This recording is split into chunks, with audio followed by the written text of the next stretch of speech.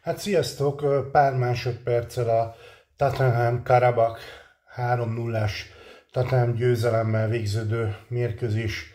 után készítem ezt a videómat, és bizonyos értelemben ez esélyleső is, esélylatolgatás is, mert hogy ugye a jövő hét kedden játszik a Ferencváros saját otthonában, tehát a Grupa Marénában a, a Tottenham ellen, kár, hogy nem a Karabakh ellen, mondhatom és hát túl jó híreim nincsenek, ugye már a cím is mutatja ezt, hajaj, hajaj, mert hogy a Tottenham az hihetetlenül erős, azt tulajdonképpen fölfelelő ki pár másik csapattal, ebből az Európa Ligából ez egyértelműen elmondható. Postecoglou egy, egy európai szinten egyértelműen top csapatot rakott össze, hát a Premier League-ben nem feltétlenül, de hát a Premier League-nek a közepes csapatai is az európai csapatok túlnyomó részét több góllal vernék meg. Egyébként ezt a mérkőzést látva egy kicsit az a régi, több mint 20 éves vicc jutott eszembe, amikor ugye a magyar válogatott a, a remek politikai vezetés, a remek sportvezetés és minden egyébnek köszönhetően ugye nagyjából ott a béka feneke alatt volt, és akkor volt egy ilyen vicc, hogy a, a az 53-as angol-magyar megfelelő évfordulójára egy angol-magyar emlékmeccsel készülnek a, az angol szövetségben, legalábbis felvetődik ez a kérdés, és akkor elkezdenek beszélgetni, hogy akkor ezt hogy kéne megszervezni, és az egyik edző jelentkezik, és mondja, hogy gyerekek, az úgy nem lesz jó, hogyha, hogyha az angolok azok 11 fővel lépnek a magyarok ellen pályára, mert akkor 6-7 góllal fog nyerni Anglia, különösen komolyan veszik, hanem az kéne, hogy akkor öten játszunk. És akkor egy másik mondja, hogy gyerekek, az se lesz jó, mert akkor is megverjük a magyarokat, hát akkor legyen mondjuk egyedül a Wayne Rooney, a srácok átmennek egy közeli pubba, és ott elkezdenek sörözni, de hallgatják a rádión a mérkőzést, ha baj van, akkor jönnek. És akkor mi történik? Az történik, hogy beülnek a srácok a pábba, hallgatják a közelítést, 5. perc, Rúni elmegy a szélen, belövi 1-0 Angliának. Na hát a kapus ki is kapcsolja a rádiót, mondja, hogy ez innentől kezdve meg lesz, nem kell foglalkozni, de azért a 8. perc környékén férészegen visszakapcsolják a rádiót, és hallják azt, hogy egy-egy a mérkőzés. Nagy gyerekek, azért kerekedjünk fel, hát mégse egy ilyen egy-egyel fejezzük be a magyarok ellen, és mire odaérnek a pálya szélére, addigra Rúni már öltönyben ott áll, és a bíró lefújja a meccset, és ki van írva, hogy, hogy Anglia, Magyarország egy-egy. És akkor kérdezik a Rúnitól, hogy hülye vagy, mit csinál, tehát hogy lehet a magyarok ellen döntetlent játszani, és azt mondja a Rúni, gyerekek, én nem tudom, engem 10 perccel a meccs kezdete után kiállítottak. Ugye, tehát miről van szó? Ugye van egy román hátvéd, Ferences és szurkolók nagyon örültek volna, hogyha pályára lép a Fradi ellen, nagyon kedvesen fogadták volna, kifejezetten baráti lett volna a hangulat vele kapcsolatban, azonban nem adta meg a sors ezt a lehetőséget neki, mert ugye tök feleslegesen Postecoglu beállította, ugye a Genovából hozták, ahol kicsit jobban játszott az átlagnál, ez a Dragusin, betették ugye középre, és akkor a 5., 6., 7. percben, tök mindegy az elején, úgy lerántotta az egyik kitörő ö, ö, azeri játékost, aki valószínűleg brazil volt, vagy nem azeri, hogy egyből kiállították, teljes joggal egyébként, és ilyentől kezdve voltak kis problémák, mert a Lukács Bergvál, aki nagyon szerette volna, hogy Európa Liga meccsen is bizonyíthasson, ő neki le kellett jönnie, mert őt tudta legjobban nélkülözni Postacoglu, és ugye a helyére az Udogit hozta be, és ez az Udoji, Miki van de Ven, hátul meg a Vikárió, hát ezek valami fantasztikusat játszottak, elképesztő volt, még kettőt ki kellett volna állítani a Tottenhamből, akkor talán döntetlen körül lett volna a meccs, mert mi történik, pár perccel azután, hogy kiállították ugye a Dragusin, azután még 12. percben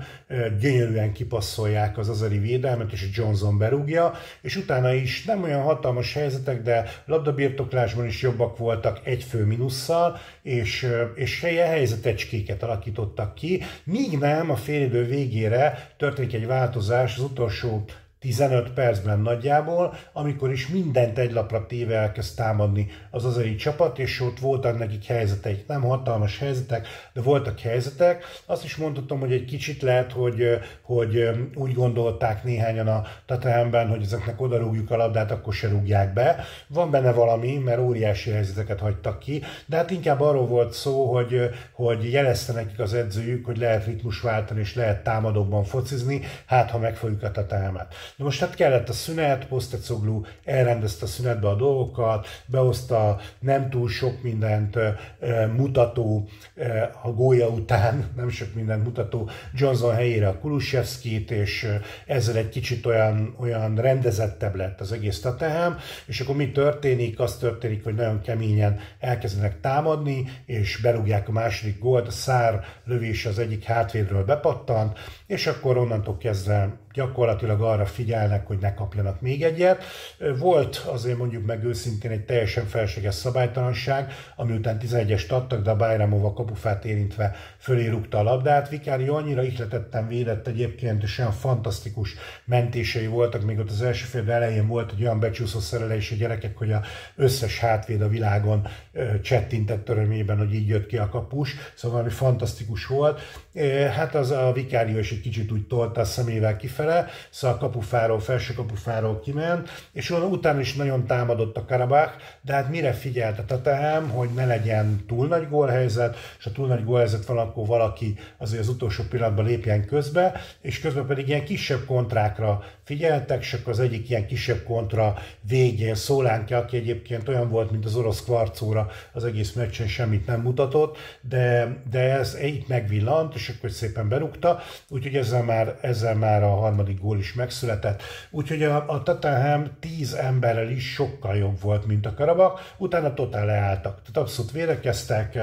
mintha az is lett volna, hogy, hogy rúgjon egy gólt a Karabak, kit érdekel. Ugye akit egyébként a riporter az első 10 percben Farabának nevezett, hát erről sok mindent elárult önmagáról, de aztán valószínűleg rászóltak a fülére, mert onnantól kezdve jól mondta. De most az nem tudom, ez az ember ez mit csinált akkor, amikor a híradók tele voltak a hegyi karabagban zajló eseményekkel, úgy tűnik, hogy nem tudott semmit erről, és valószínűleg nem tud semmit Azerbajdzsán történelméről. Ez a fajta naivitás, ez nagyon szimpatikus valahol, hogy, hogy, hogy az ember úgy nem tudja, nem tudja azt a csapatot, amelyiket egyébként közvetíti, de, de azért, azért jobb, ha igen. Tehát jobb, ha igen, mert akkor lehet, hogy, lehet, hogy egy kicsit többet beszél a háttérről, de, de mondjuk értelmesebb, intelligensebb, tájékozottabb képet ad magáról. Na de visszatérve a lényegre, ugye nekünk sokkal jobb lenne, hogyha ezzel a karabakkal játszanánk. Ez, ez azért még mindig elég erős feladat lenne a Fradinak, mert azért ebben van most egy elég jó kapus, a Kohalski, aki a lengyel extraklassa legjobb kapusa volt, és azért ott hátul vannak igen jó hátvédek, tehát se lenne könnyű dolgunk, még egyszer mondom, szerintem a Karabak nyerne, azonban a Tottenham annyival fölötte van a Fradi fölött, hogy, hogy az egészen drámai. Én tulajdonképpen abban reménykedem, hogy, hogy a Tottenham addig fog játszani, amíg egy-két gólt nem rúg. És akkor berúgja az egy-két gólt, akkor utána ugyanúgy le fog állni, mint most a Karabak ellen. Ha ez nem így van, és arra fog menni, hogy, a, hogy akkor a táblázaton minél előbb helyezkedjen, akkor nagyon nagy veresség vár a Fradira, de ezt, ezt ne kívánjuk, nem hogy ne kívánjuk, hanem inkább azt kívánjuk, hogy valami csoda történjen, és akkor, akkor ott is mondjuk legyen még egy tatám kiállítás, és akkor adott esetben akkor meg lehet, a, meg lehet ugye a, a tisztes eredmény. Mi lenne a tisztes eredmény? Hát egy olyan kettő gólos vereségtől lefele, tehát egy gól, vagy döntetlen, hát az döntetlen az szenzáció lenne, de a kettő vagy egy gólos vereség az tök tisztességes lenne ezzel a Premier League csapattal szemben. Ez egy másik univerzum azt kell, hogy mondjam, tényleg egészen elképesztő játékosok vannak benne. Ez a Mickey Van de Ven, ez olyan gyors, mint egy, mint egy, nem tudom, egy futógép. Nagyon kíváncsi lennék arra, hogy a félpályánál kapnak egy labdát a Liverpool Tottenham meccs, és akkor a Szoboszlai lefutná-e. Van egy érzésem, hogy igen, de a Szoboszlain kívül túl sokan nem futnák le, és akkor még ott van a Son, ott van a Szolánki, ott van a Johnson, ott van a Matársár, tehát valami elképesztő ez a csapat, és akkor még ugye azokról nem is beszélek, akik Kulusevski, Betánkúr, meg a többiek, Timo Werner, ugye, akik csak csereként álltak be, szóval döbbenetesen nagyon jó ez a Tottenham, és hát a Fradinak minden egyes perc, amíg nem kap gólt, addig nagyon örül örülnünk kell. Úgyhogy nagyon kíváncsi vagyok, hogy mit fog kitalálni Janzen mester. Nyilván a Rossi mester már sokkal több mindent találna ki, és a Rossinál még akár azt is lehet mondani, hogy egy véres verejtékkel kiküzdött döntetlen is benne van a pakliban. Janzennél én ebben nem bízom, mert Janzennek van egy játék sémája, azt próbálja játszani a Tateam ellen, azt a Postecoglou simán megeszi reggelire, úgyhogy itt egy elég érdekes mérkőzés várható, de hát a remény hal meg utoljára, tudjátok, se az ember a Fradinak szurkol, akkor mindig tudja, hogy a, amikor besötétül az ég, akkor utána mindig jön egy hosszabb világos periódus. Úgyhogy ebbe bizakodjunk és reménykedjünk abban, hogy egy normális eredményt elér a Fradi. Egyébként paradox módon most ugye a, a táblázaton, de nem vagyunk távol a továbbjutó helytől, mert ugye 28-ak vagyunk, és 20 Ötödik az Elfsborg, az még nem továbbjutó hely, de a Porto a 24. helyen áll. Ugye 3-2-re kaptak ki most az első meccsükön. Úgyhogy azt kell mondjam nektek, hogy, hogy